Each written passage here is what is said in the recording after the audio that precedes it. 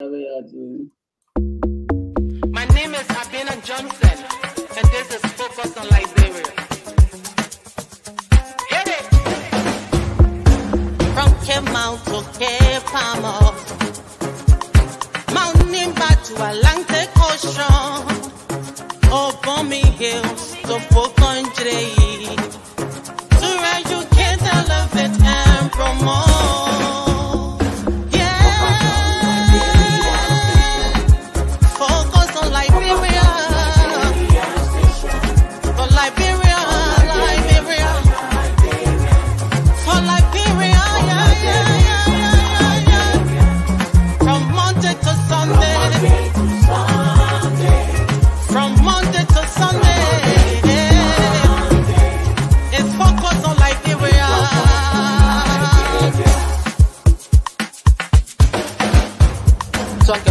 Affairs.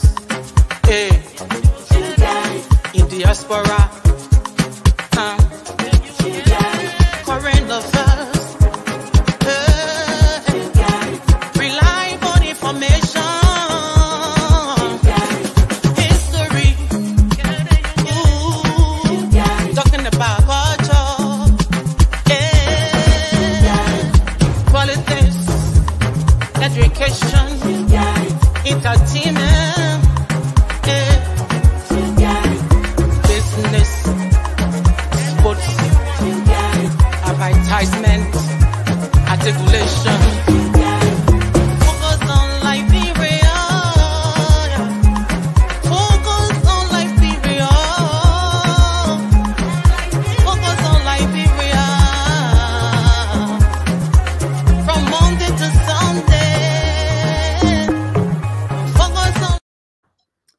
Ladies and gentlemen, and welcome to the Liberia History Channel on Focus on Liberia. My name is Dennis Jah, and we are broadcasting from Atlanta, Georgia.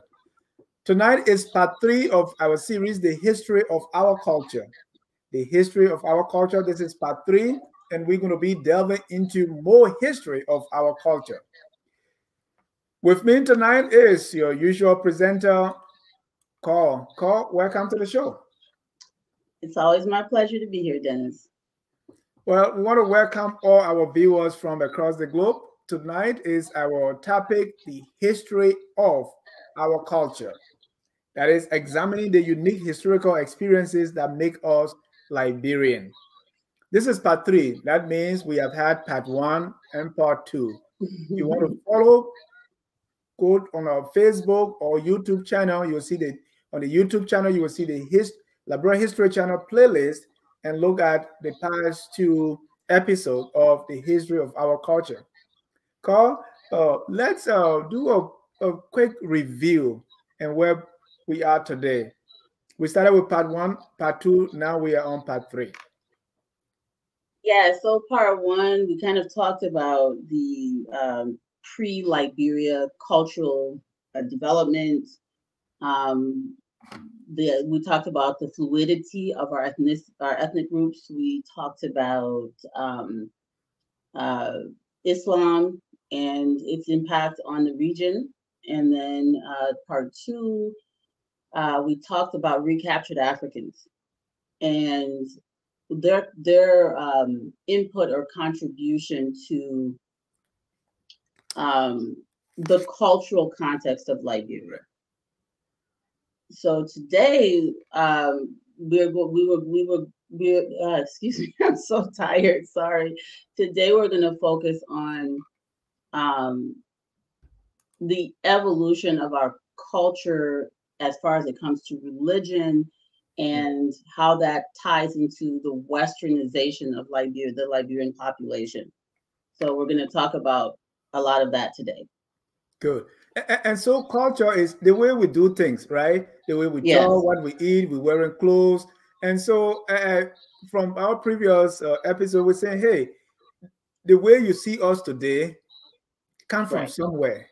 These are all the influences that add on us to make us who we are today. So if you see me uh, talking with my Sierra Leonean and uh, Greville accent, it comes from somewhere. If you Mhm. what I eat, the way we talk, so like the last episode, we're talking about the impact of uh, our brothers and sisters from uh, the recaptured Africans and how even the way they build their houses, Mhm. what they brought with them, we still have that today. So I, I mean, I'm liking this, and I'm getting positive feedback from our viewers that uh, you know, it's trying to give people a kind of new way to look at us. Yeah. It shouldn't be a new way, right? It should be. It, it, it is what it is. It's, I don't know why. You know. I don't know. we Is don't look at really new? ourselves that way. You know, every time we look at ourselves, I mean, from my experience, and I could be wrong, Mhm. it's uh, this, uh, uh, I I don't want to call it division per se, but it's like we compartmentalize it. You know, this group, this part, this part. Yeah. But if you look at it, we all we all eat cassava leaf. We all talk the same way. So all these things that make us us, we want to talk about them and how we get to be where we Right. are today. I got it.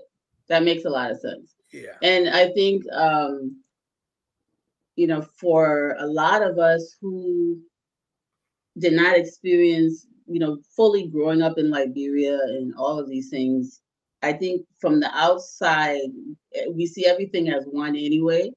Yeah. So when I approach history, my interpretation is always, no matter who it is, they're part of me. so if I'm looking at at at at somebody, you know, coming from from from land, I'm not thinking of them as different from myself because when you grow up outside of Liberia, everything Liberia is you. You embrace all of it, and so you know, it, it's it's something that for me is just natural. I don't see I Mhm. don't see the differences as much as the similarities. So when I see things that someone else sees, they might see it in a in a, a way that's different. But I just want to point out that perhaps the reason Yeah. I focus on the similarities is just because of the way I grew up. And, and you are right because it happens to us when we left Liberia. So we left Mhm. Liberia. The first place I went was Guinea. So when we were in Guinea, we didn't see ourselves as separate people again. We're Yeah. all Liberian. We have one big name called refugees. And so, in fact, the Guineans will, call Yeah. us like that. They don't even care. If they were were in a car, they, hey, refugee approach yeah. let's go there. it, you know, so it and now uh, you in America and somebody asked me recently, say, Oh, what music you listen to? And I started playing all these Liberian music and they were shocked. I said, No, what happened is when we leave home, we want more of home. Yeah. So the things that we miss, we enjoy them so much. We want to eat, we want to eat the Liberian stuff, we want to stay. So that's what make us now to focus on Liberia as a whole and Yeah. not just our little cleavages anymore. And exactly. I, I was joking with somebody um, the other day, and they were saying, "Oh, why are you calling Gus Red your uncle and he's a Bassa man?" I said, "Because we were growing up in Minnesota. Every Liberian man or uncle, every Liberian woman were into. Yeah. We didn't know. I didn't know Uncle Gus was Bassa, I, and I didn't know. You know, it didn't matter. No. Nobody said, "Oh, they better Bassa." All I knew Uncle Gus Red was my uncle, and the same thing. I mean, um, we grew up going to they had different meetings and stuff like or organizations like St. Paul River District and then um, Jeff Bates would take us to St. Paul River District meetings and then on the other hand we'll be going to Bassa Doba meetings we'll be going to Unico meetings and the same group of children just passing from hand to hand from meeting to meeting Yeah. so we that's how that's how we were raised and anybody that grew up in Minnesota with me knows that very well um, and so uh, I was actually shocked when I went to Liberia and saw that people were so focused, hyper focused on ethnicity. Um, yeah. It was, a, it And- was a little, and I will, I will bring in, I will bring in one more thing before we start the show. Mhm. If you invite a friend, you know, we want to talk about the history of our culture. So there's a new thing about, you know, when it comes to government changes and, and people are, you know, looking for jobs because people want to go back home and work. And then so this Right. whole idea of diaspora Liberian and this Liberian, it, it, it, it comes up only when it comes to the time of jobs, right? So I told right. someone- I, I told someone, I said, we are all one people when first of all we are going, they say, hey, come. You you build you you build your house, you know, you put your family people in or friends, all that we are still one people. Yes. The only time this separation comes is when people are trying to go for government job, say, "Oh no, no, you diaspora person, you can work here." But besides that, we are all one people. Yeah.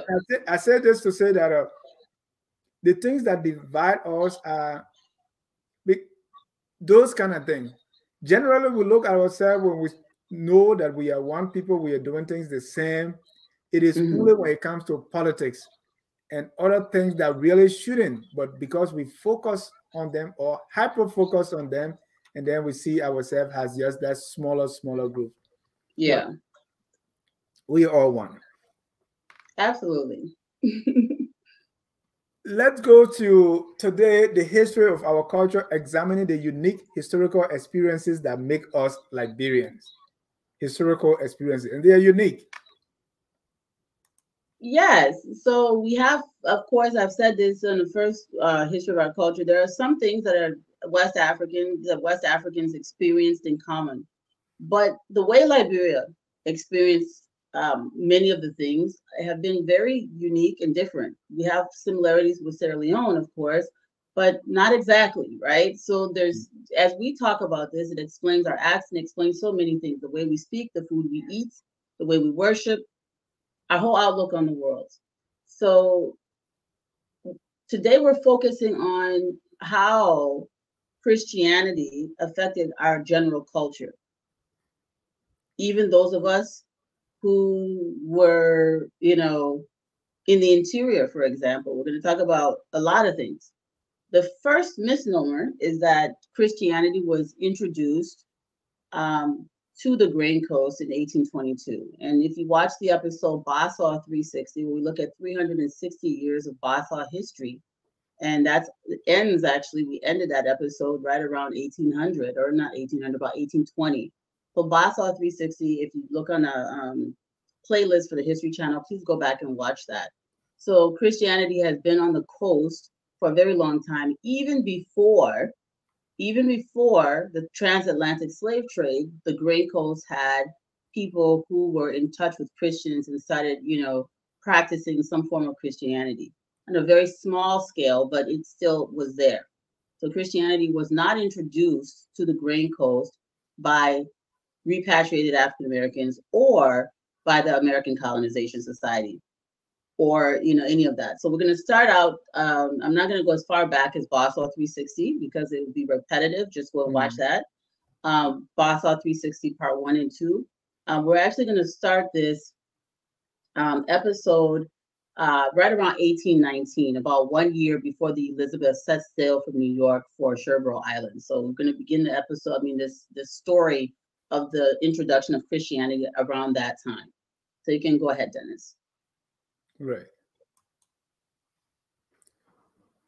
So this is a photo um, that that covers uh, Mr. Cates.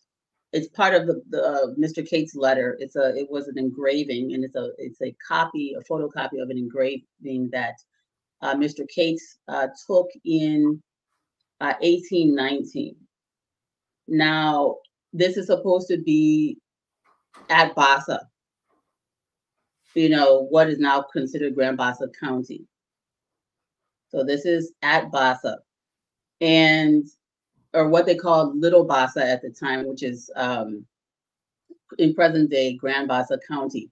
So at Little Bassa, he took this engraving, and basically it is of, supposedly a, a traditional um, uh, masked dancer or a masked performer, and you have uh, uh, you know, two European Americans, Mr. Cates and one of his colleagues, and then you have a black westernized man. All three of them are missionaries.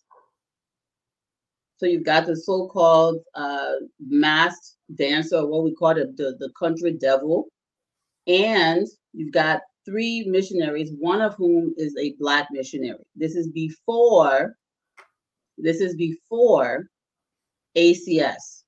This is 1819. And I want to point out that the Black missionary, according to Mr. Cates, was a Bassa man. And this was, he's the one who carried the people there.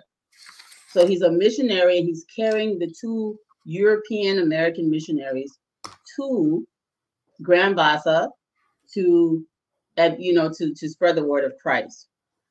His name is Mr. Davis. And it's very important because Mr. Davis was a liberated enslaved person, meaning Mr. Davis was rescued by the British off the coast of what is now Liberia, and that ship was liberated to Sierra Leone. Mr. Davis is then baptized. He's basically a recaptured African, but he's from right down the coast, so he's from Bassa, but he's in Sierra Leone now, being westernized, Christianized, and now he becomes an evangelist and wants to go back to this place of origin and spread the gospel to his people. Very, very interesting. And this is happening before the ship Elizabeth ever left the coast of New York. And Cole, let, us uh let me stop you right there because this is very important. I know we spoke about this in previous episodes about Christianity on the Grain Coast or Mhm. where we are today. That this happened before the uh, repatriated Africans, Yes. right? So because it is very easy, even though the admission to was to Christianize, but it's very easy for us to think that it was the coming of the uh, settlers that brought Christianity to that part. But you're saying even before Elizabeth, Elizabeth was not going to Liberia. Before that time, hmm there were Liberian missionaries like uh, Bassa people preaching. Yes. So This- this, but it, it's very important to mention. Remember, it, it- we talked about recaptured Africans last time, Yeah. and I said that many of the recaptured Africans were liberated from right in the Grain Coast. So, so Yeah. the so-called freed or liberated enslaved people, a lot of them came from right there, right. Right? And a lot of them never left really the coast of the African continent. So here are Bassa people that were taken probably from Trade Town because that was the most active slave trading depot in the Bassa region. Probably taken from Trade Town. The British caught the illegal slaver, liberated the people at Freetown. And then you've got these Bassa people who've been liberated at Freetown, amongst others, because we looked at some of the rosters for the people who were liberated at Freetown in another episode that Jerome Gaiman and I did. But here you have these this man Davis, he's now taking the name Davis. He's he was old enough to know he was Bassa when he was liberated, and he wants to go back now and evangelize to his people. He wants to carry the word to his people. But I want you to read Mr. Um, Cates's letter. It's the next two slides, Mhm. which explain it very well. Please. Right, and, and and and that particular piece of information about Christianity there, and I'm writing that down, so we'll come back to that later on because another one of the uh, viewers too have the same idea about Which is why, what? why we think that these things began with the coming of the ex-slaves. Why people? So this this writer say the ex-slave love to take credit for everything that happened in Liberia.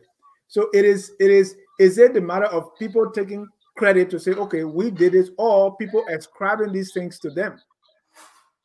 It may be a combination of both, right? We all went to the same schools. We all think the same thoughts. We all have the same beliefs. So it's a combination of both. It is where where have we seen a so-called indigenous Liberian set a different narrative except for on this history channel?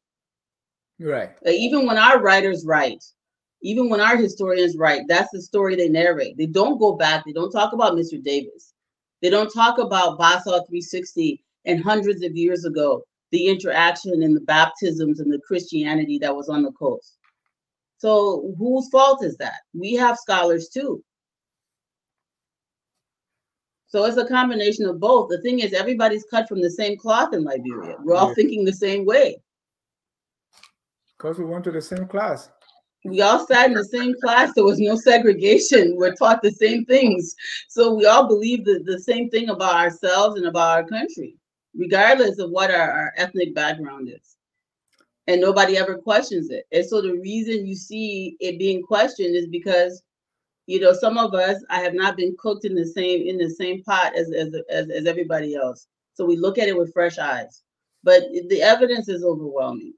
But I do advise that you know you go back and watch Bassa 360. It's, it's, it's one of my favorite um, episodes of the History Channel.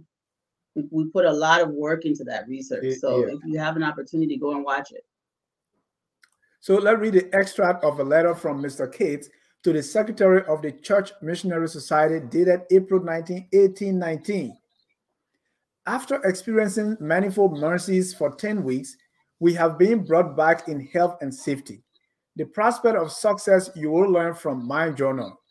In several places, there is a willingness to receive missionaries, particularly in the Bassa country, of which William Davis is a native.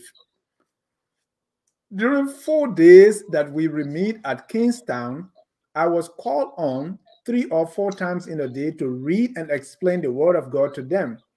Why they heard with marked attention and devised every means that they could that they could to retain it in their memories. The headmen from the different towns in King John's dominions assembled and consulted on the propriety of receiving teachers. There was not a single dis- dissent, dissenting voice, but on the contrary, many among whom the king was foremost were, were anxious that we should speedily send some person to them. The king willingly acquiesced in a proposal which I made to him to place William Davis among his countrymen as a teacher. And though and though he would have been glad to receive an European, acknowledged the propriety of commencing the mission with an African. Should the people show the sincerity of their desire to receive instruction by a diligent attendance on him, it will be an encouragement afterward to send an European. There are many other places where missionaries will be gladly received, but they do not appear so well suited to begin with an African.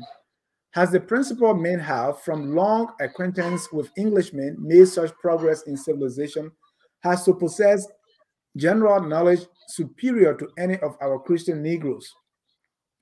This is the case particularly in Gallinas, where there are some families who received the liberal education in England during the triumph of the slave trade. They are still much addicted to this nefarious traffic, but are so far convinced of the advantage of education that they will receive a white missionary, though they will treat contemptuously any attempt to send a liberated slave to them.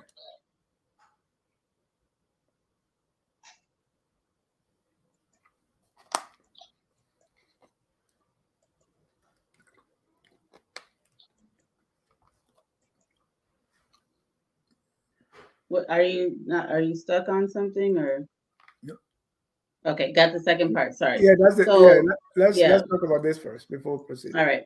So, do you have any questions on this? Is there anything that stuck out for you? Well, I mean, starting from what we said before, that uh, Mhm. this was before the coming of the settlers. Now you have natives, and they say, "Hey, let's give you European, or we want a native." So there were natives already preaching. So they're looking at Davis as a liberated slave, a freed slave. So freed means the same as liberated, Right. right?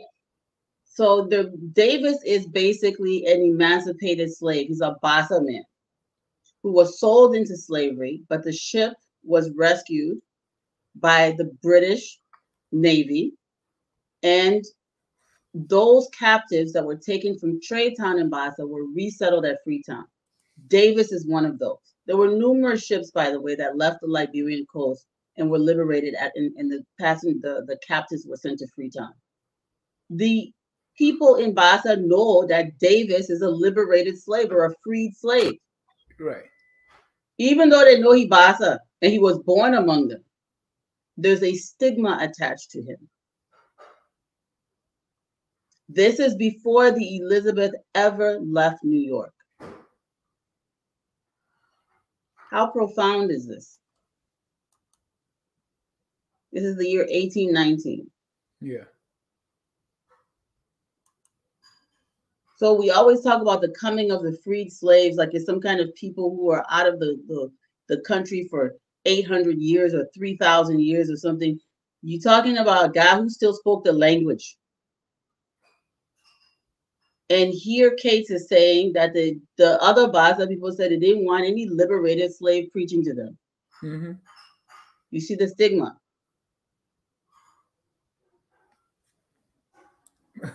So when people say liberated slaves, they're not thinking when we say it, we don't necessarily think Bassa people. Just like when we say freed or liberated slaves, we don't think or remember recaptured Africans.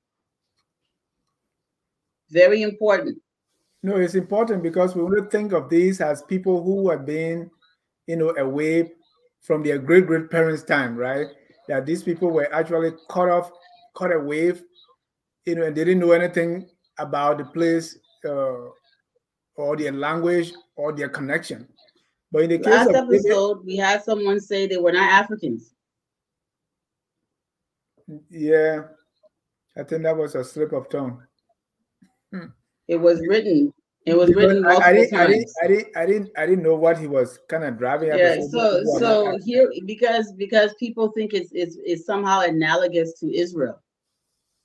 You know, you got three thousand years wandering in your two thousand years wandering around in Europe, and then all of a sudden you come. But here, these are Africans. And as they set out their own mouths, this is African, we are Africans, as we know. No, a number of the people who repatriated were just one or two generations removed from Africa Mm, yeah. right? Arthur Barclay, Dahomian, E.J. Roye, Abato. They said he was evil, but he was Abato. You have uh, um, you have all of these people. Stephen Allen Benson, son of recaptured Africans. Uh, many of them, they're just grandparents were taken into slavery from Africa. This is the 1800s the early 1800s. Some of these people were born in the late 1700s. So they were born of people who were born on the continent. Many of the people that repatriated. So it, it they were not too far removed a lot of times. Not always, but a lot of times. The generations were not that far removed. So that's important and to even also show that there was a presence of liberated people who had been in captivity already spreading the gospel before the Elizabeth ever left New York. If that doesn't shock people, nothing will. you know, so we can move on. So you'll be glad to receive a, a European. And, and this uh, being glad to receive a European Mhm. also tells me that uh, they knew them. You know, they knew that, eh, eh, right. They, they, they knew that, hey, wasn't this because this was the, it was in their generation. Yeah. So, So we also have we also have we're going to go into Lot Carey. Um, that the Lot Carey mission was named in his honor. So Lot Carey, Lot Carey was based on the, the the people who repatriated through ACS. He was the first to open a church and a school on the Grain Coast of the people who came from from ACS. So Lot Carey's whole purpose of getting on the brig Nautilus, which was the second ship that went to Sherbro. Lot Carey's whole purpose was, and he, went along with recaptured Africans. His whole purpose was to open a church and a school for indigenous children and recaptured Africans. So just like Davis, Lot Carey is also a missionary. Many people who went went back to, to Liberia in the early stages went as missionaries. We're going to talk about that process and how that changed the culture. Hmm. So we can go to the next slide unless you have a question or anyone else does. by February of 1828, Ashmun was too sick to continue his work, suffering extreme swelling and edema as well as pain in the joints. He returned to the United States where he died that summer. Before leaving Liberia, Ashmun designated the assistant agent Lot Carey as his successor. Carey had been born a slave in Virginia in about 1780 and had experienced Christian conversion in 1807 while working in a Richmond tobacco factory. His wife died in 1812, and in 1813, he purchased his and his children's freedom. That same year, he became a Baptist minister, and by 1819, he was involved with the American Colonization Society. The society sent him to the colony in 1821, and he had become an essential player in Ashmun's plans for development and expansion. In September 1828, Lot Carey moved most of the antelope captives to their new town behind halfway farms on Stockton Creek when a new agent sent to replace Carey visited in December of 1828, he was very impressed by the former captive's accomplishments. They have been on their lands but three months and have already have built themselves comfortable houses enclosed their lots and have their cassava, plantains, and potato growing most luxuriantly, wrote Rich, Richard Randall. He, though the, lo the location healthy, it was removed some distance from the mangroves that lined Stockton Creek. Agent Randall decided to name the settlement Town to honor the, his predecessor. But that name never stuck. Instead, the liberated captives instead insisted on the name New Georgia. Yeah. So this ties into last week's episode. So if you didn't watch uh, the second episode of the history of our culture, go back and watch that. It really focuses on recaptured Africans. Lot Carey started this process um, when he arrived, of course. So 1828, he had already solidified um, uh, most of the, I mean, not 1828, but before he died, he had, he had already established most of this. And one of the things I wanted to mention too is that that Lot Carey, that school that Lot Carey put there was specifically to baptize and Christianize recaptured Africans and indigenous children. So the Lot Carey mission that was named in his honor was serving the purpose too of ministering to indigenous people. This has to be, that's why it was named in his honor, because they were carrying on his mission. So do you have any other questions on this? Because I think we covered a lot of this thing with the recaptured mm-hmm. Africans the previous episode and who they were and the antelope ship that the people who established New Georgia were really from the Congo rainforest region. Hmm. Um, what I want our viewers to keep in mind is uh, we are discussing the history of our culture. So all the influences now we're talking about the Christian influence. Right. This is how it started, and that's where that's where we're going with this. Yes. This is about the Christian influence. So if you want to go back to other two episodes, please don't kind of say, why are you not talking about this? We already talked about it. That's why. yeah. So go back if you haven't watched the previous ones and watch them. So I wanted to say something. I'm going to show images. Now, these are Native African women. These are nine Native African women who were at the, the, the Days mission on the St. Paul River. In the year 1909, they were photographed. Hmm. Yeah. And their names are here. Right.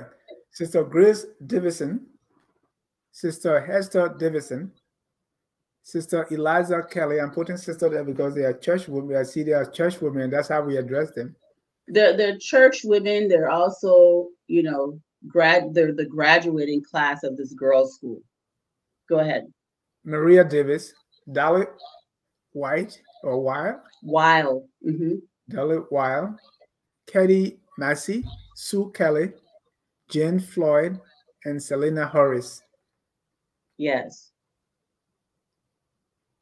Clearly, these are not their birth names. Yeah. Part of what some of these schools did, just like we discussed, you know, maybe, we, you know, when we were talking about Samori Toure episode last year, when you adopt a religion and a culture, typically you'll change your name. The reason for that is, even in our traditional culture, when you go to the, the Sande Society, you come out with a new name because you are now part of that tradition. Okay. If you become a Muslim, you then take on a name from the Quran. If you become a Christian, you take on a name from the Bible.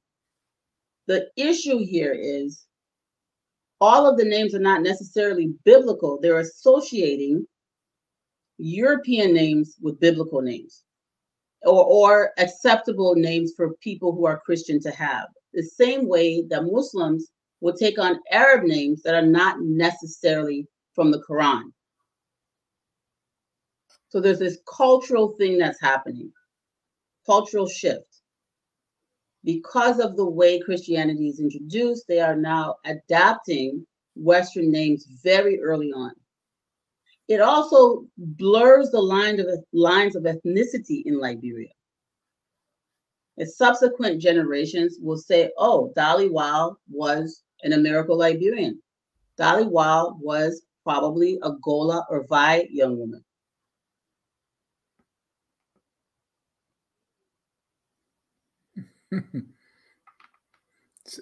So, so the the yeah. So what ends up happening is they now value these things because the traditional name is associated with your traditional beliefs. You are now born again into a new faith, and you take on a new name. That is the concept. So these names were not forced because you have cases where many, or not many, but some people said, "I'm keeping my name." Or sometimes they would take their father's name and a biblical name and combine the two. But many people, especially because they were taken into these schools as children, gladly adopted new names. This is the case with even Daniel Howard's father. Many of the Howards in Liberia are indigenous people, Bassa and Kpelle, right? And Loma. There's a large cl- I mean, uh, a clan of Howards in Zorzor because they adopted the name early on. So ethnicity and name are not the same. And many Christians who adopted Christianity early on changed their names in this fashion. And this is a global phenomenon. This is not unique to Liberia. This happened among indigenous Americans, it happened in Asia, it happened all over Africa. This is what was indicative of that time period. Right. In, in my hometown where we are the missionary, people it's an orphanage school. They came from all over the uh, the region, and we have names. You know, uh, and I'm saying this because uh, one of the viewers say, "Hey, if I were alive, I wouldn't have taken those names."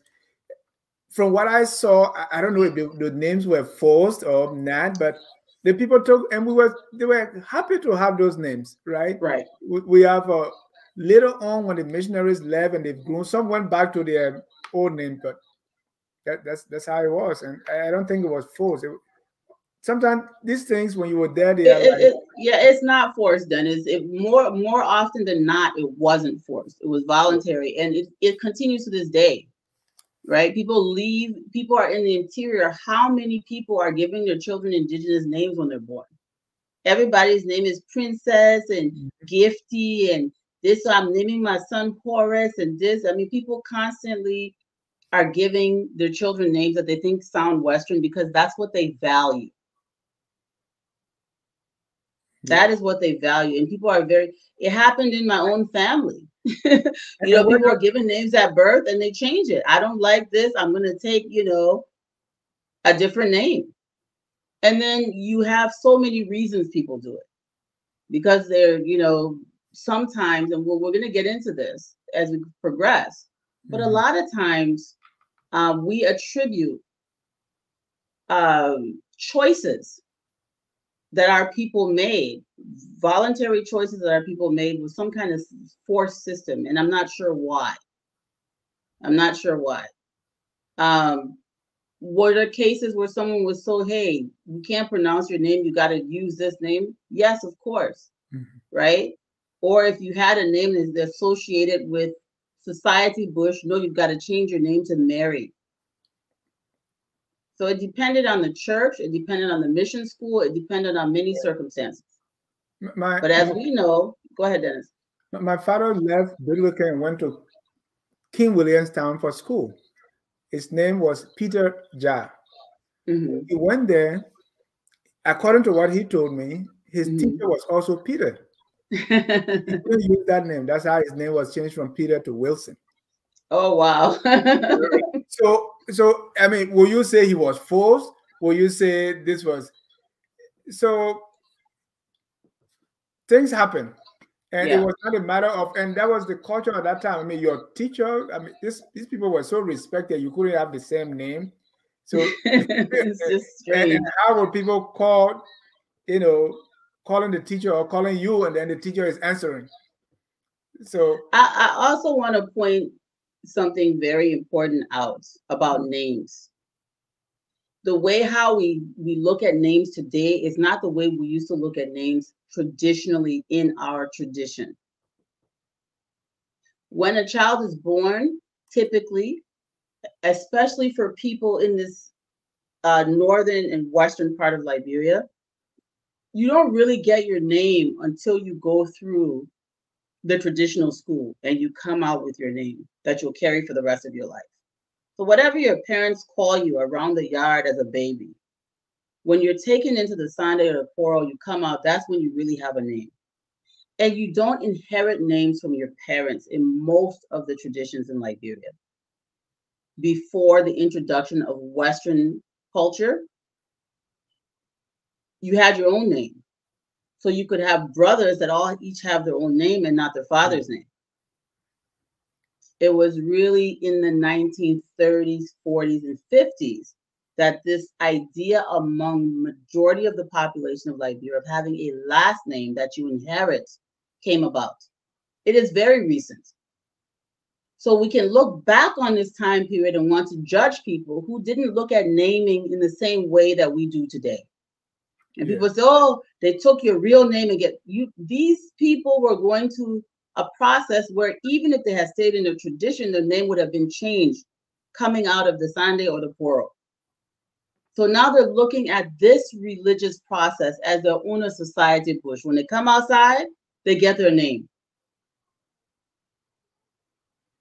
And so it was normal for our people. So this is why you didn't have re- really real resistance to it because they didn't see the problem. no, because So now if- today, your children are Jah, your father was Jah, right? right. And so if they try to change your son's name, he's going to say, No, my tradition is I'm named after my father. He was named after his father. You go back five generations, that was not the case. In fact, that you only have one name, right? Yeah, now- for the most part.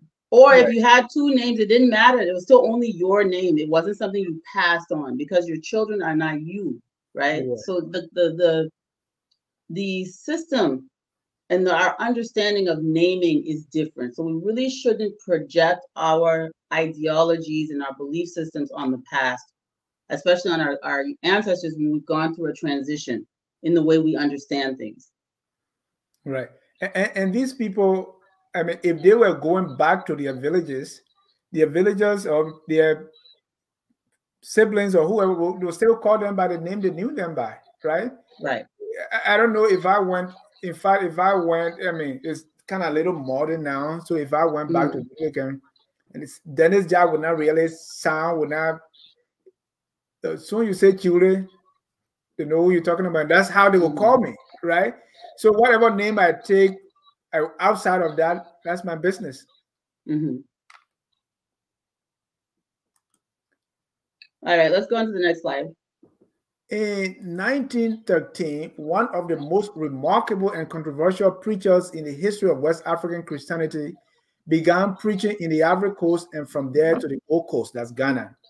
His name was William Wade Wilson, 1865 to 1929.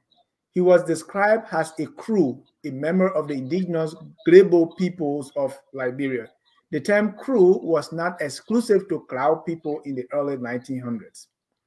The effect of Harris's ministry was electrifying, as Gordon Haliburton observes. And this is what he said.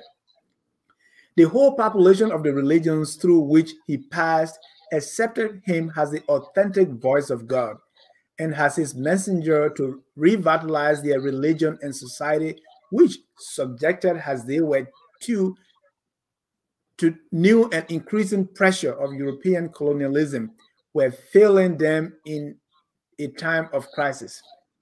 The method used by Harris and his companions was to approach a village singing songs accompanied by the calabash rattles. Local people would gather and Harris would preach fervently, inviting them to renounce traditional religious practices and believe in God.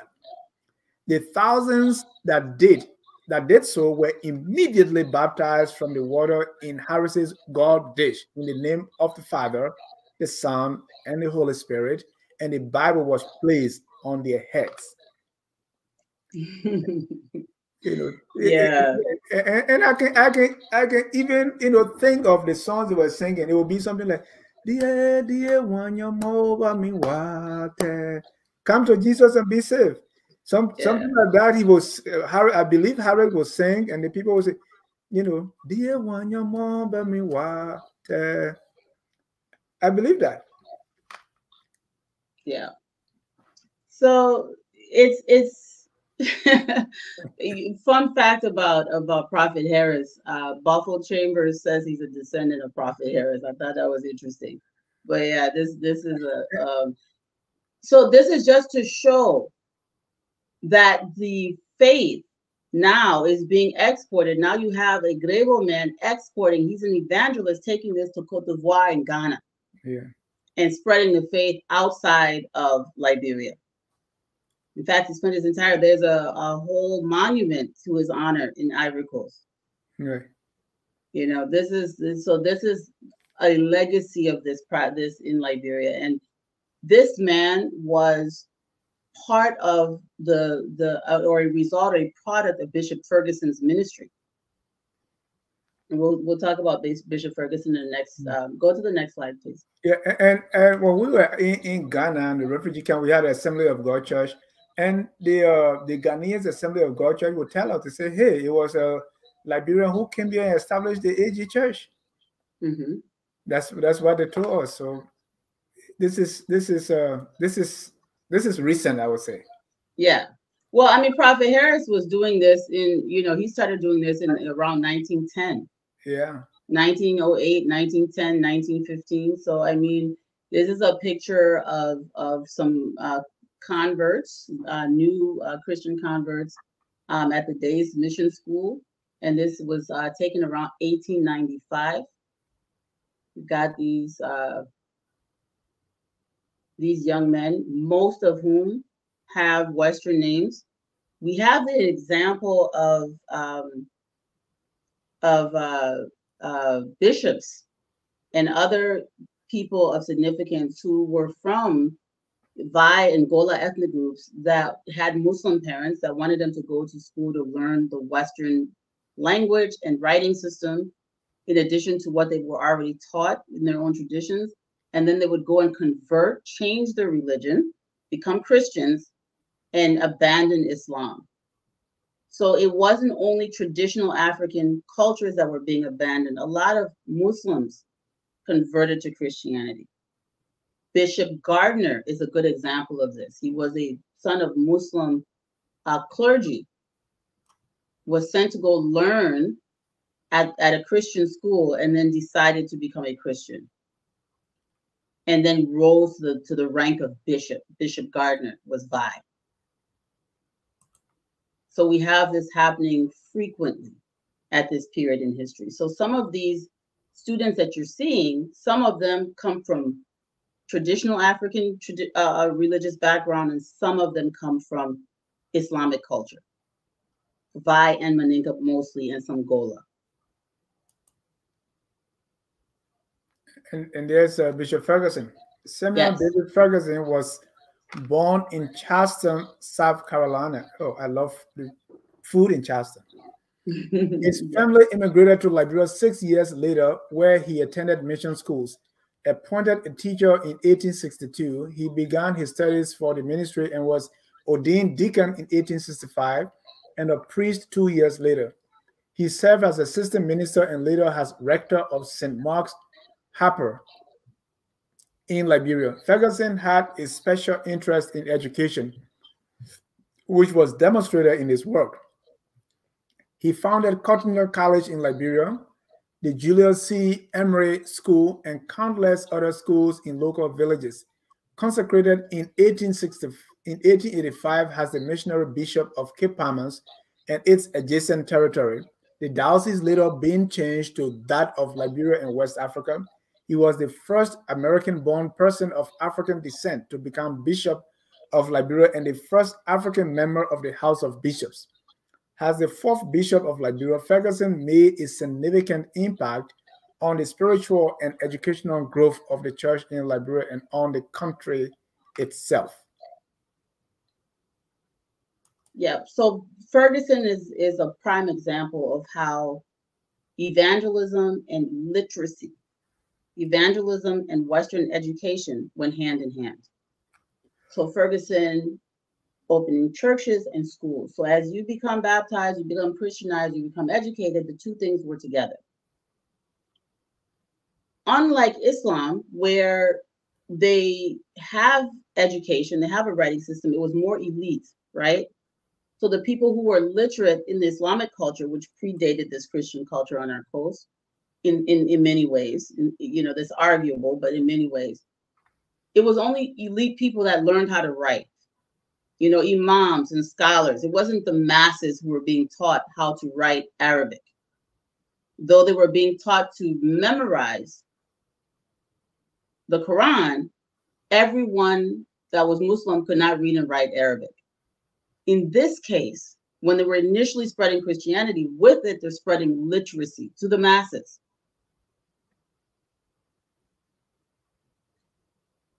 So, for the first time, literacy is being spread to ordinary people on the Grain Coast.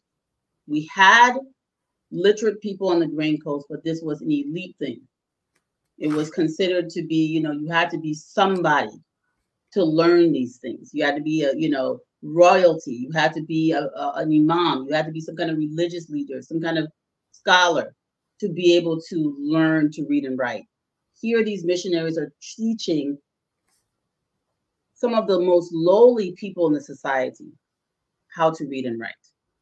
So it's very powerful. And Ferguson, if you want to attribute the, the spread of education and Christianity to an in, one individual, Ferguson carried more than his responsibility in the spread of this. He opened schools, he opened churches, he devoted his life to both literacy and to the spreading of the word of God. Next slide. Bishop Ferguson. Bishop Ferguson established Cuttington College in 1889 with the aid of a $5,000 gift from Robert F. Cutting, the treasurer of the Board of Missions. Ferguson purchased 100 acres of land, hired an all Liberian staff, and built Epiphany Hall, the school's first permanent structure. Over the years, other permanent buildings will replace the remaining initial attached hut structures of Cuttington.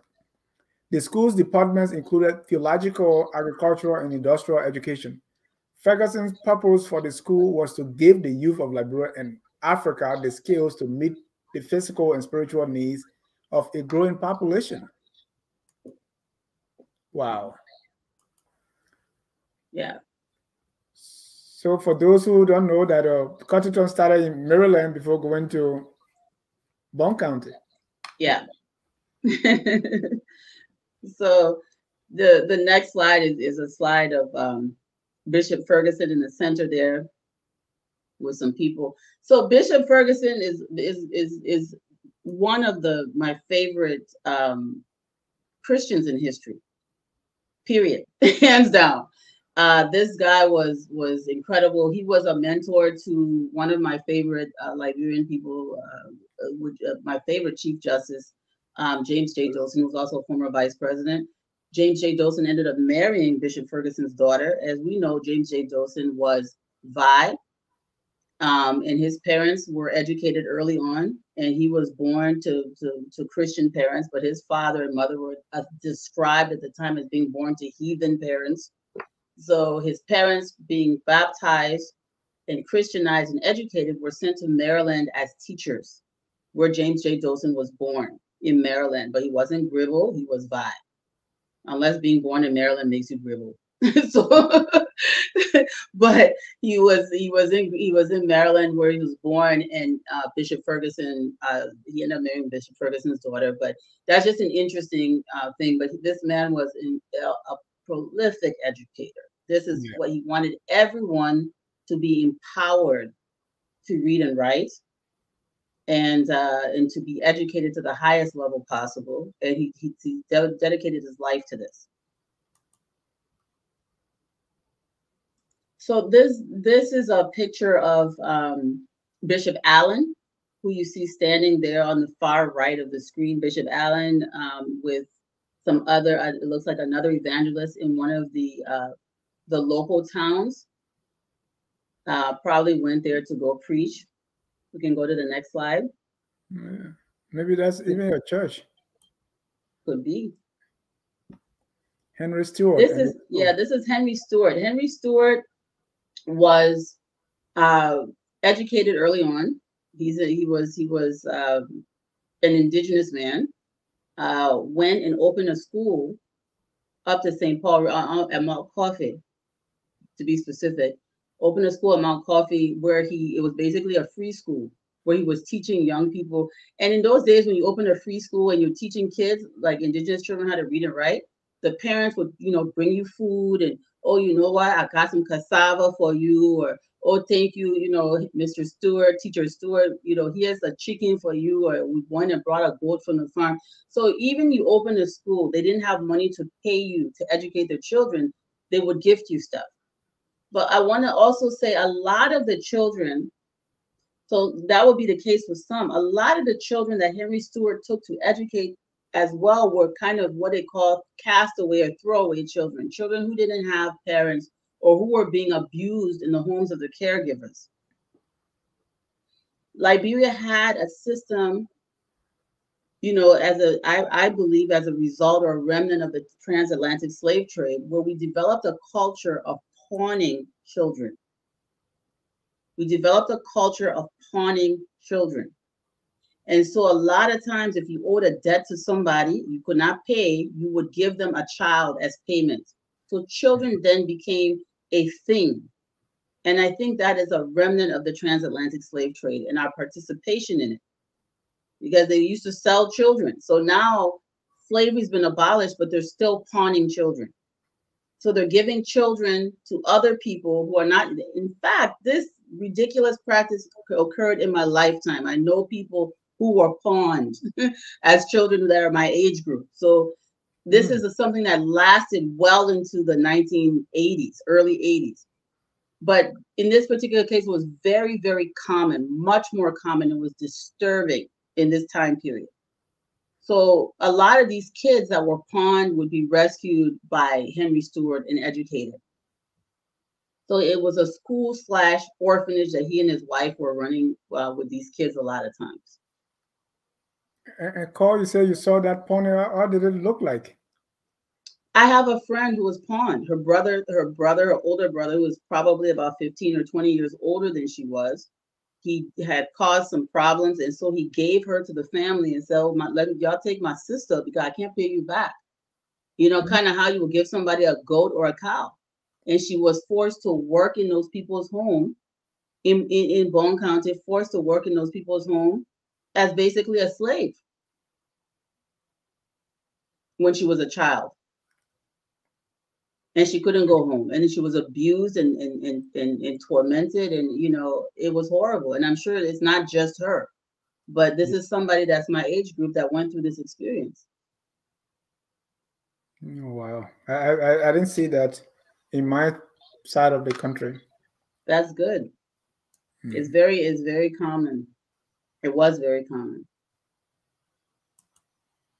So missionaries um, uh, from america went to liberia during a period in time when the united states was still practicing some of the worst segregation in human history uh, missionaries went to liberia during a time period as you can see, as early as 1819 from America when slavery was still legal in the United States. And even after slavery was abolished, and the United States was segregated, a lot of missionaries left the Jim Crow South, where Black people were not allowed to drink from the same drinking fountains. They couldn't look white people in the eye. You know, if you're in the Jim Crow South, you didn't go to school together, you didn't eat in restaurants together, you didn't sit together, you didn't even worship together in the same church. They left this kind of horrific racism and went to Liberia to evangelize. And though they felt they were doing God's work, they took with them this very, very uh, dehumanizing attitude toward African people. So missionaries with boots on often didn't feel they needed to walk when they could take people who they felt were less human than themselves and force them to be carry them through the rainforest and do all kinds of things. This book, Behavior, um, if you read some of the writings of, of Mrs. Traub, who was a, a Kpelle woman who became a Lutheran educator, she and many other Liberians, both descendants of indigenous people and repatriates, started having issues with European missionaries because they practiced this type of segregation and also the type of what they called abuse towards indigenous people. So we'll go to the next slide.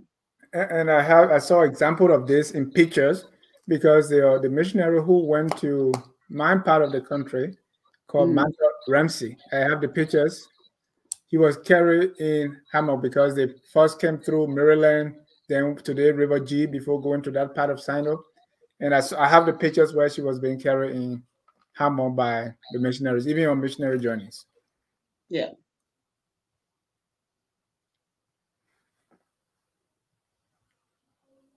Guys is relaxed.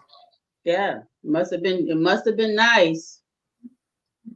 And and I don't know, you know, he wearing boots and you can't see in the picture, but these men were barefoot. Yeah. The man with boots is being carried by the men without shoes. And that weight on their head, mind you, for miles.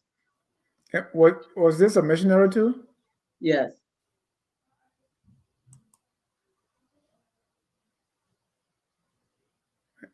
Which year could this possibly be? So these photos, these specific photos are from the 1930s. Okay. Talking but I'm sure there's one on. Hmm? No, talking about pawning, Jimmy Isma said my grandmother was pawned to my grandfather and they had my mother. Yeah.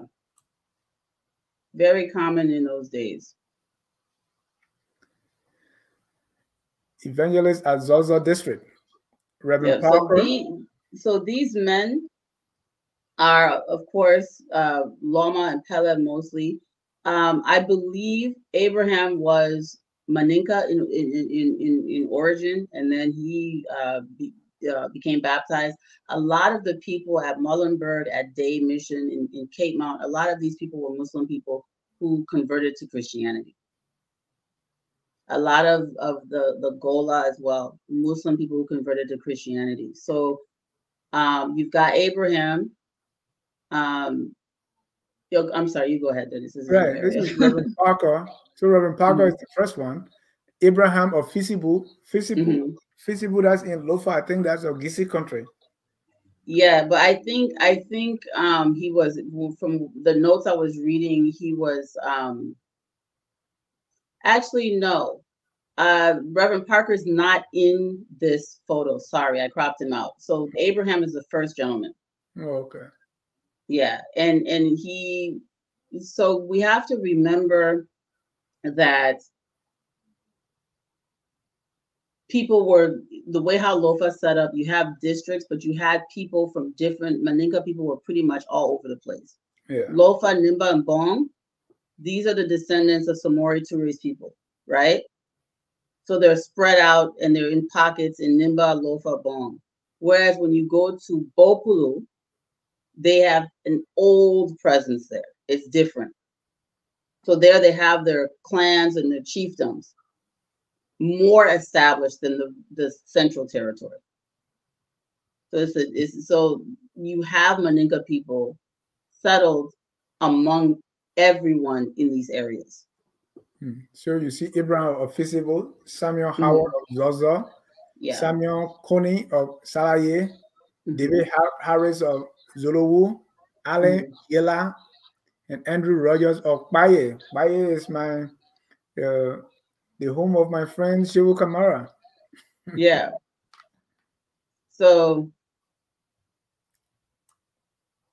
there we have it. now this so this is the previous picture. I just wanted to say something. If you can go back, we'll come back to this. This please. So this is to show you these are evangelists from these places, and they're going back to minister to their people. and their children are going to be educated and they're going to be Christian. Their grandchildren are going to be educated and they're going to be Christian. And they're going to be carrying these names Howard, Harris, Rogers. These are not people that went to go live with people to get names because the, the understanding that we have is that everybody were living with somebody and the person gave them their name. These are people who voluntarily took these names.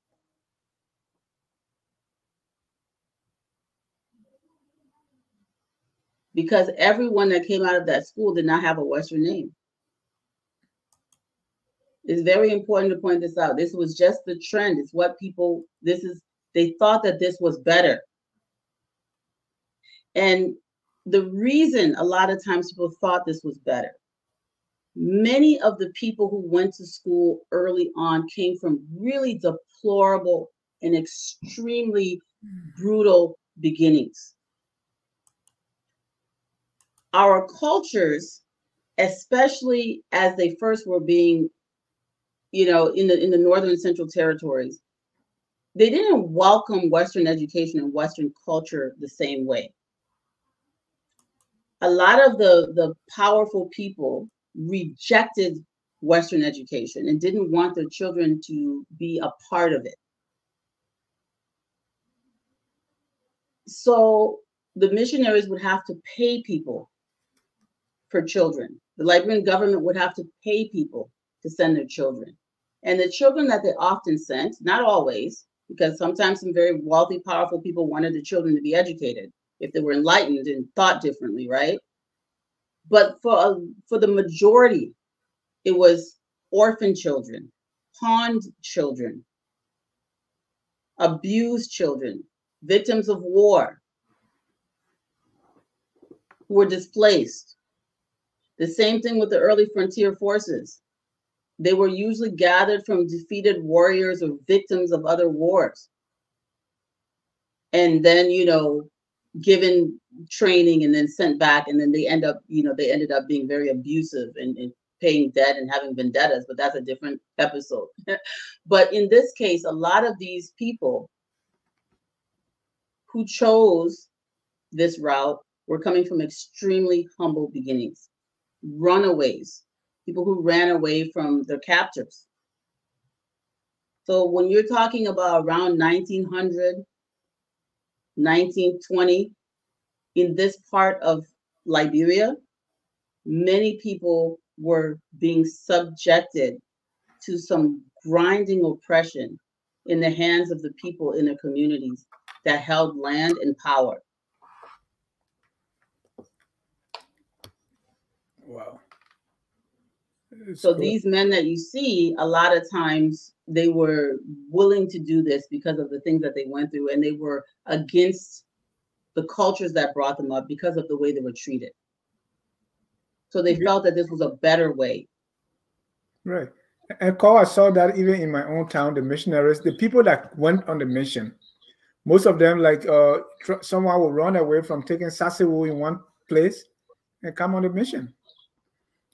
You know, because people that were accused of witchcraft, some were Mhm. banished from their towns. These were the people that the missionary took. Yeah. So I can I can relate. Hmm. I love this picture. Yeah. I like to pick fuss on Jewel, but her parents were so attractive, beautiful people. she's she's a beautiful child of beautiful people. I mean, look at her mother. Look at her Right. mother's cheekbones. Gorgeous woman. So this is Vice President Jewel Howard Taylor's parents. Um, in Zorzor. Her father was from Zorzor. Her father was Loma from Zorzor. And he her mother Kpelle. They were Christian, they had gone to school. There is a lot written about her parents having lived with, you know, Congo people, and that's how they got the name. This is not true.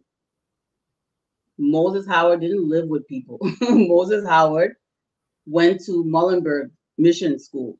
He ain't live with Congo people. He went to school.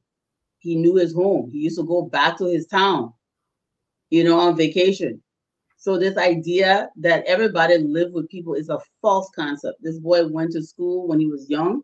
This young woman went to school, got educated. They were both nurses. When they got married, they were stationed at Phoebe Hospital in Bong County.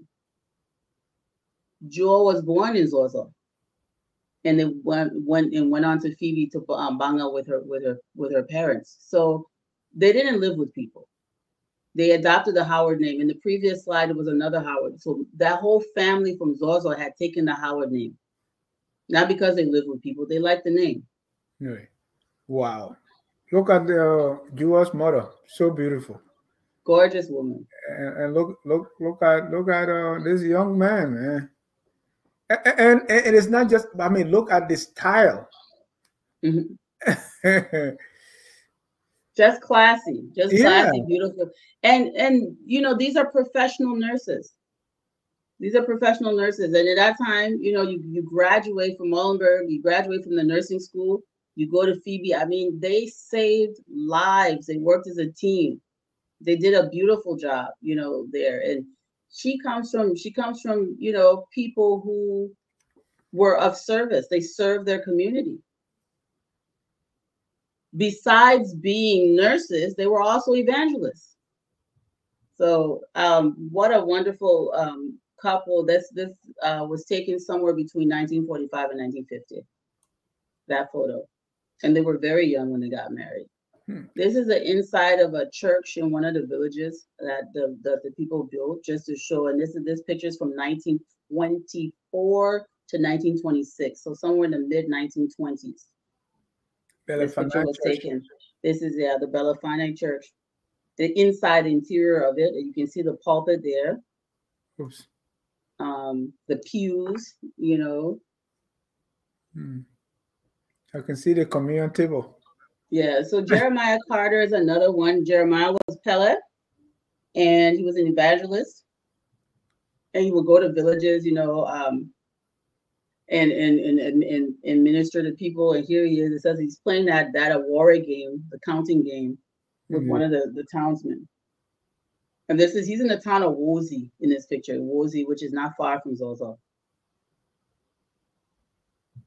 Thank you, brother. So Jeremiah. in, in this time period, Kpelle and Loma people, the language was really interchangeable. They spoke each other's languages, just like you know, um, many other people. But uh, Byron Z. Traub and, and John Clinton are the two in the front here. I'm not sure who the other people are in the background, but those are the only two identified. This photo was taken in 1940. Yeah, Georgie and his son. you said what? No, I said Georgie and his son. Now this is Baron Traub and uh Oh, we skipped over Clinton. Georgie and his son. I'm sorry. Let's go back.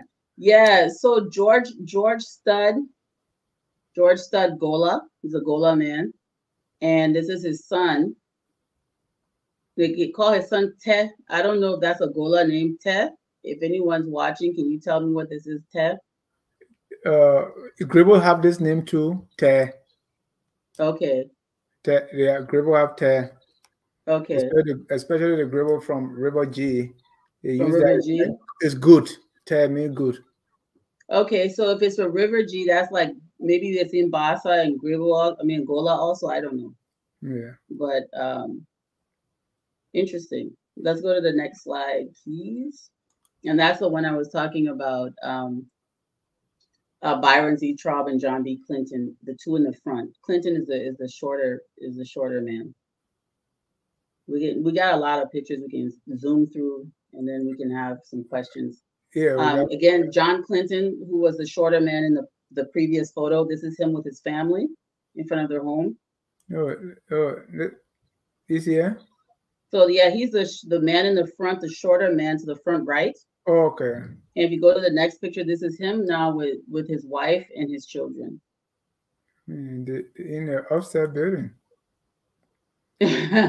yeah, so this this was this was also taken around 1940. So Right. The, the new Focolare Church. Yeah. So this is a so you having now the masses of the people in the country becoming Christian. This happened in the 20th century. The masses of Liberian people becoming Christian occurred in the 20th century.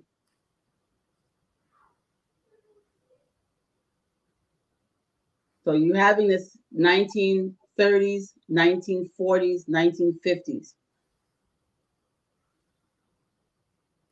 We can go to the next slide. It's just, you know, more, Nicole Um, and the son Samuel. yeah, just an example of Liberian Christians, first generation Christians.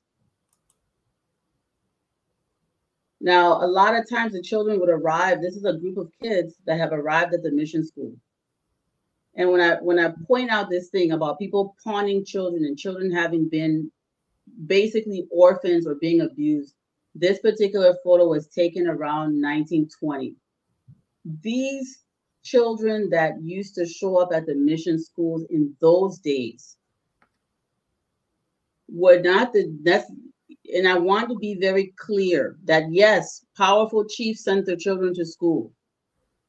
I want to be clear that there are exceptions, but the majority of these people who were educated early on came from an abused class.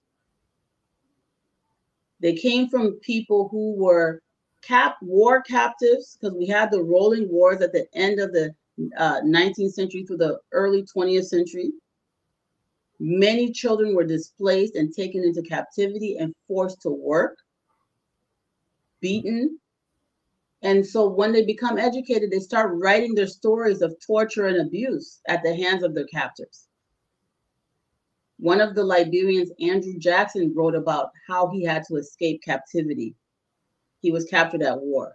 He later on went to Tuskegee University in the United States. So a lot of these children their parents have either been killed in war, in these rolling ethnic wars that we had, or clan wars, not necessarily ethnic, sometimes it's within the same ethnic group. And they would be taken, you know, into captivity. And oftentimes the missions school, along with the Liberian government, would purchase their liberty and take them into the school and educate them.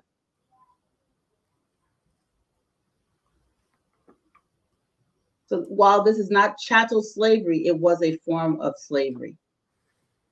Hmm. And when they grad, you know, this is a, a group of, of such children attending school. And this particular photo is somewhere around 1900. I can see the confidence building in the kids, man. You look at them. Yeah. So now they're going to school, they're eating, they're not being abused. I mean, they're still they're still being made to work by these missionaries. Don't get me wrong, but it's a different for them, it's a relief compared to what they had endured. Hmm. One of the most profound things that occurred with Christianity being introduced to Africa in general was the imagery of Europeans as biblical figures.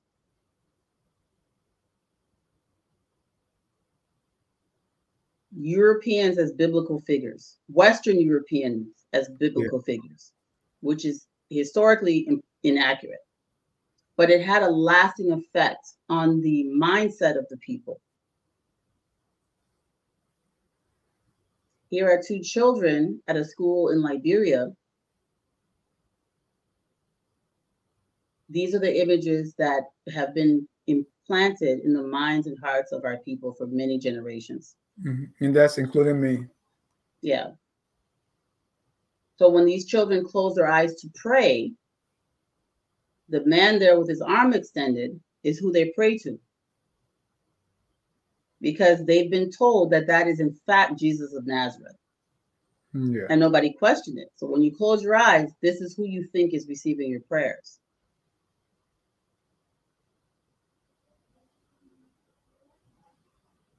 We'll go to the next slide. Here's another example of children attending school in the 1930s, Christian school. They're in the schoolyard. Go to the next slide, please. Graduates in 1934 from the Muhlenberg Boys School. And- and this- this was a high school. Muhlenberg Boys School. Um, these were eighth grade graduates, and then they're mm-hmm. going to go on to CWA or some other school to complete. So some of them are older because of the time they were taken into the school. Oh yeah, I've seen that. Yeah.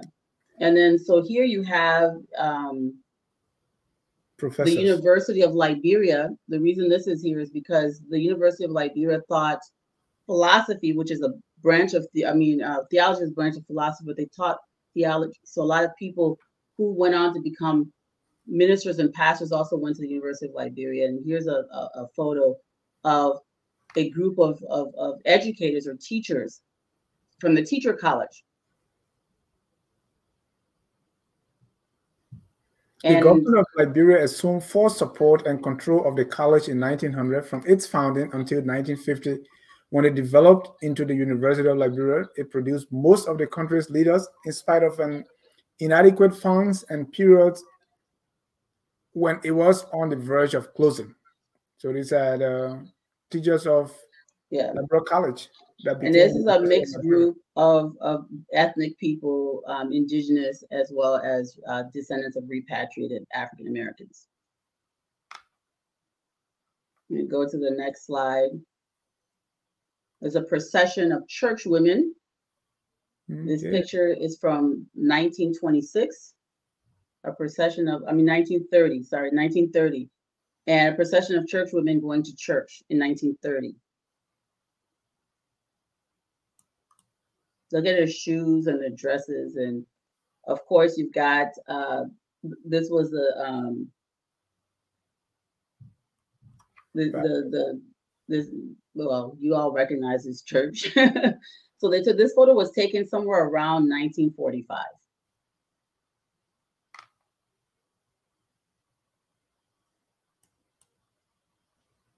And my church, my family church, Ganta Methodist. Oh, this is an error in the slide, Yeah. but forget about the writing there. This so this young man here, Ganta Methodist, he's got you know Sunday school 9:30 a.m. morning worship 10, um, and then it's it's uh, I- um it's it's got something there in Mano. But here's this young boy posing with the sign. If you go to the next slide, Right. And, and let me try my my my my mind here. Cars and know what I care, what I is God. So yeah. Yeah. Come, let's worship. mhm, yeah. Come, let's worship God. And then the next slide has uh, Bishop King, uh, who was a bishop at Ganta Methodist for quite some time, I think 12 years. Um, here he is with, with uh, Winfred, uh, Winifred Harley, Dr. Harley's wife. Dr. Harley, who founded Ganta Methodist Mission, by the way, was not a minister or an evangelist. He was a medical doctor. We'll mhm, do another episode on him. yeah. But and here are some Liberians in 1955, Christians. Um, Mm. and this is a situation where we have descendants of all of these people, culturally similar, all considered, as far as everybody's concerned, They're all Congo people because they've been generationally educated, generationally exposed to Christianity and Western culture, and the lines between them are now blurred. Got you know families like the Normans and and and all of these different people interwoven, um, the Howards and all these people interwoven, and, and nobody can distinguish or differentiate between who is who anymore. And I, the next photo is, is absolutely fun. I love it. I love the country cloth. Maybe you know, the next. Oh, this is the same as the one before. Just another church Yeah. scene. And then here you have the Black Nativity at at the Lutheran Church, St. Peter's. Uh, Isn't that beautiful? very beautiful. And he, he's got a country cloth there. this seemed 1955. And then we'll end with my uh, my home church. I took this picture in 2009, Ganta Methodist. Yes. All right. So we can open up the lines or read questions and then, you know, Oh, So, so let's start with questions. mhm. I say, where are the pictures from? but that's that's not the main question. Uh, we were talking about names.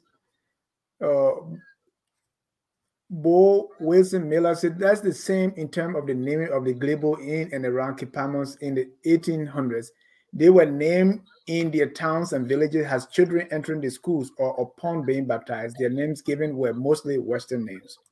yeah. But here's a question that I have, and I've heard this narrative for a long time about Mhm. when we were talking about the conversion. Mhm. So there's a question here uh, that the uh, people, the Mandingos, refuse to adapt to accept. Okay, and so Sherry say the Mandingo resisted vigorously the Christian missionaries. Hence, the Mandingos were sidelined. I've heard it many times. In your So- presentation, you gave examples of uh, Muslim being converted, but Yeah, I, I think I not think Mandingo specifically. Yeah, there was a lot of Mandingos converted, Mandinka people converted. In fact, um, I think I think we are too tribal in our thinking. A lot of people resisted Christianity. Yeah, Mon people did, you know, a lot of people, clans did. Not any one group, entire group resisted anything. Mandingo people are not a monolith. As much as as, as Samori Toure uh, fought to make Maninka a monolith and go back and watch a Samori Toure episode. Um, there were still some people that said, you know, I'm going to change and, and change. But the reason most Maninka people are Muslim is because of Wosu. So please go back and watch the Samori Toure episode and, and understand why that happened. But to just make a statement and say Maninka people resisted vigorously the Christian missionaries, um, that is if you look at, you know, um, the Bomi area and uh, uh, uh, what is now Bopolu, this is true because they started seeing their children changing their religion, but it's not universally true. So when you speak of a resistance, you speak specifically of who did it, not the entire ethnic group. I think that's a bit, you know, um, inaccurate and it's it's it's it's not it doesn't paint a very um, complex picture. It, it simplifies things, and that's it gets to be a bit dangerous when you do that. And even if you're Maninka yourself and you're doing it, it's still dangerous. It's because it's, it doesn't really tell the full story. Samuel Cole said Christian missionaries in Liberia were just different from those from other parts of Africa. Only Liberia and Sierra Leone you find so many with biblical and Western names. I, I completely disagree with that. I've been all over West Africa. That's very common in Christian areas for people to have Western names. So I don't know where he got that concept. Maybe he's only been to Liberia and Sierra Leone or only watched Nigerian movies. But you go to Nigeria, you see so many Peters and Pauls and Thomas and all kinds of stuff. So I don't know where that's coming from. Even you go to India, the uh, the Christian side, they, Yeah. they have Christian names. hmm Alfred Dennis say, so when you guys will talk about the Fula Prince of Liberia, because I would like to know why Mandingos are citizens and Fula are not. Call, I don't want you to answer this. I'm just putting this to teach a lesson. Yeah, I'm gonna say Fu- Fulani Fu- Fulani people are Africans and, and all black people are citizens of Liberia. And I think that um that's just Alfred needs to go and, and study a little bit more about Liberia. Because it- citizenship is not granted based on a on, on your your so-called tribe or the language you speak. It's granted on you being a black person. It's Negro clause. There's no tribe mentioned in the Constitution, and the Constitution determines citizenship. Yeah. So I- I, I, anyway. Uh, Freeman said this is exactly the kind of curriculum that we should implement in our country. Uh, and people, there was a question also about, you know, whether this is being taught in Liberia. I know people always ask that question. Yes, it's my friend Thomas Awaji. Is this part of the history taught in Liberia schools? This is something He, you he, can. he knows the answer to that. Don't mind you. That's a sarcastic question. He went to school in Liberia asking question. Okay. Unless Thomas was born here like myself, he knows the answer. No, Thomas was born in Kawe in Liberia. Okay, a- a- and, I was uh, say Christianity and, and uh, Bible are two different names. So, my Yeda Gia say the ex-slave love to take credit for everything that happened in Liberia, and I don't know why. They came to Liberia from slavery and were not allowed to read or write. So I put this because we've dealt with this, especially the second part, a lot of time. Yeah, that, that's just not true. Hmm. that's just not true. I mean, yeah, Lot, we already dealt with it with Lot Carey. Lot Carey came as a missionary, he wasn't illiterate. So, is that everything? Yeah, some, uh, you know. Thank you guys so very much for this wonderful series.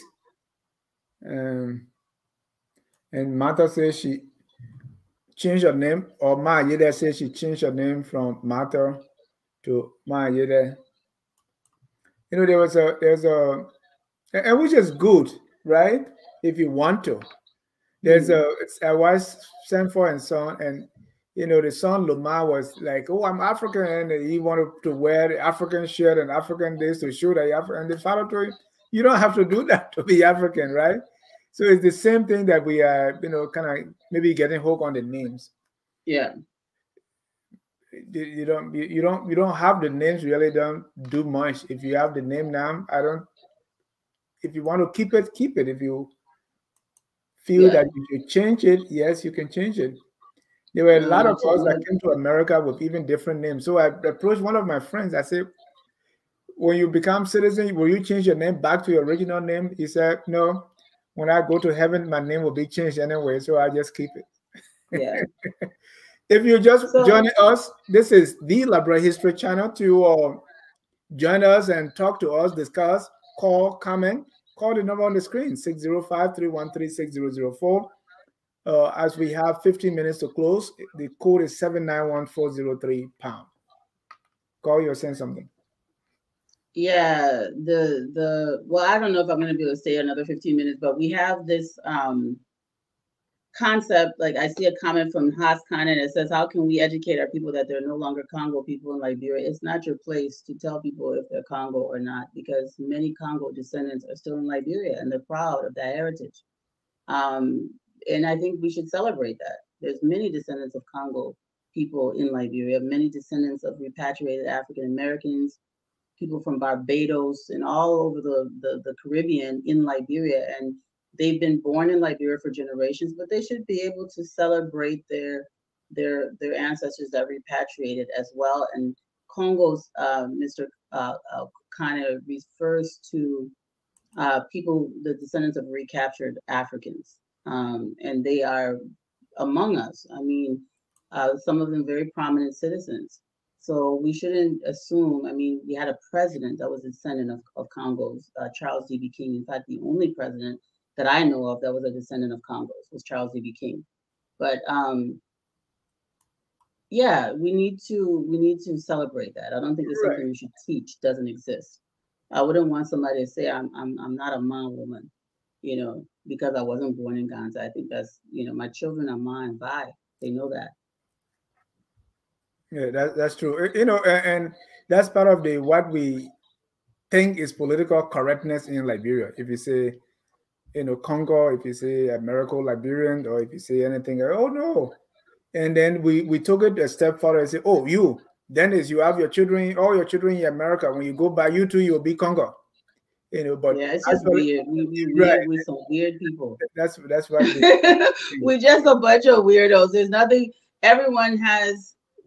Not only should everyone be proud of their personal heritage, we should all be proud of each other's heritage. You know, there's, there's something beautiful about being in a country that has this kind of rich history. Mhm. I embrace all of it. Something, if you say it, you're being divisive and discriminatory. That's why people try not to. Yeah. There we go. One. But Yeah. yeah, that uh, yeah, those are all the comments we have, and um, let's go. Yeah, we can we can go ahead and adjourn, but that's all I had to say. Thank you Oh, all for watching. we, we got we got we got one one caller, so let oh, okay. let let's get that caller. Yeah, go go go ahead and uh, set the stage for the next as I break on the caller. Um, so next episode we are going to be talking about the Caribbean heritage, the food and linguistic contribution of the people from the Caribbean and also uh, uh, African Americans as well.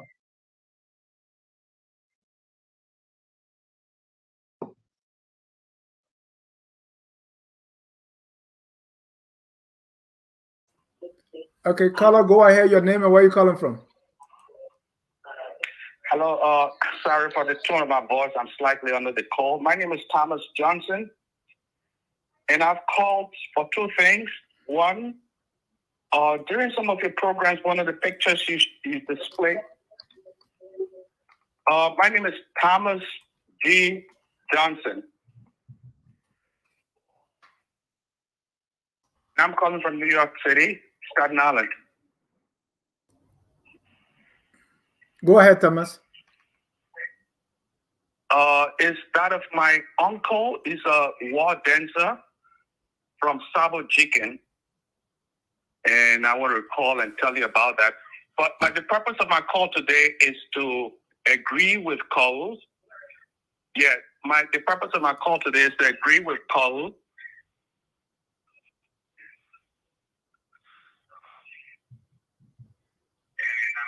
Go, go ahead, Thomas. You are listening. Stop listening to the to, to, to us and just talk through the phone. that the names, such as the Western names, Johnson and uh, Thomas, some of those names were truly acquired by our people. All right, all right. Uh, my father told a story. He's called Kurewia Twe Johnson.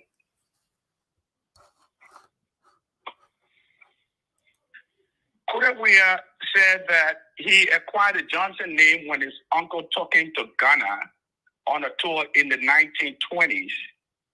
And as they got to Ghana, one had to adopt a name, whichever name you wanted, you acquired that name, and he selected Johnson.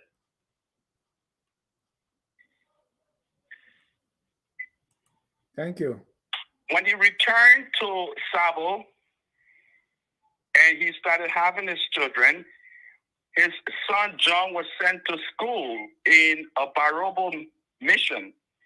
And during registration time, John was asked uh, about his father's name, and he indicated his father's name, Kudewiatwe. The missionary simply wrote John Johnson because he heard Johnson's name. So that over the period of time, his brothers started being called Johnson instead of David Twe, Sam Twe, Eliza Twe. That name Johnson stuck on us. So it, it was an acquired name. It was not a, a Congo name. We have never never lived with any Congo persons. We have never lived with American Liberian, but it was an acquired name by our father that we find it difficult to change after our brother, the elder one, just documented everything on Johnson, Johnson, Johnson. Yeah. Th thank you. That that's uh that's that's that's that's good you said that because this is common. You know, people often think that everybody with that name either live with Congo people, American Liberia, and so on and so forth. And thank you, thank you for your contribution. Yeah, that was that was very interesting, Dennis. Um, but yeah, there's a lot of anecdotal stories like that, and I think most of the Western names that you see in Liberia just come from school, not from actually people living with people. Most of the time, it just comes from going to school. Yeah. We were in the class, my uh the, the late his name was Kibanu, and the, the guys that even I mean people that were that were even teaching were not missionaries. They were people from the same town, and they still changed his name. They say, "Oh, that is too hard to spell. You are Kenneth," so he became Kenneth Toe, but he didn't go to school as Kenneth Toe. so that, that that happened. But we want to thank our viewers for for watching tonight, and call. Thank you also for the presentation. Any final thoughts? Anything you want to say before we draw down the curtains? Um, no, I really appreciate all the comments and the questions. And um, next week, we're going to be talking about something a little more fun, which is about food and why do we eat kala and all these kinds of things. And um, we're going to talk about where that. Thank you. All right, tomorrow, join us uh, at four o'clock. We have on point with a uh, debate on training issues. And then at six o'clock, we're going to bring in some lawyers to talk about dual citizenship and also the cases at the Supreme Court. That is the uh, uh, Justice Namwe or the nomination of Councillor Musa Dean. Where is it now? That you know how things going. Also, there are reports that uh, some the Unity Party is trying to challenge the citizenship of some members of the uh, House and that may go to the Supreme Court. So we want to talk about that. Join us tomorrow on FOL Justice Forum at 6 p.m. Eastern Time. Until then, we close with our song that says, We are all Liberians. Have a good night and God bless you.